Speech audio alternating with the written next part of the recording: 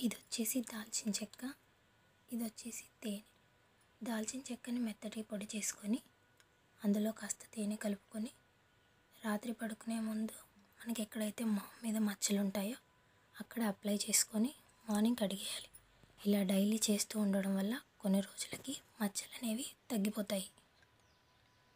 ఇది వచ్చేసి pure honey. నాకు ప్యూర్ హనీ ఉంది కాబట్టి నేను అది యూస్ చేస్తున్నాను. మీకు కనుక దొరకకపోతే మీరు ఏ హనీనైనా యూస్ చేసుకోవచ్చు.